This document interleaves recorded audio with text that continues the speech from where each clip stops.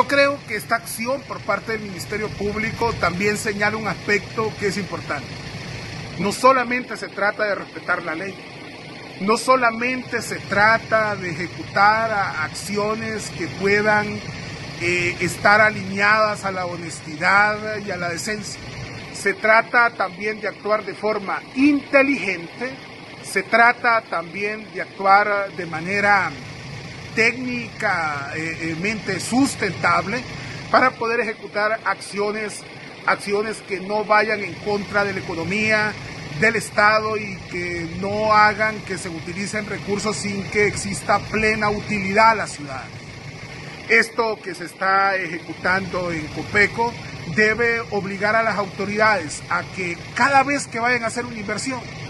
cada vez que vayan a ejecutar un gasto, cada vez que vayan a adquirir equipo, procuren de alguna manera hacerse asesorar de expertos. Nosotros desde el FONAC hemos propuesto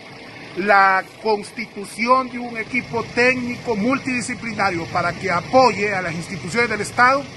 en hacer adquisiciones que tengan, eh, eh, reitero, un sustento técnico y la aprobación de personas expertas en la temática.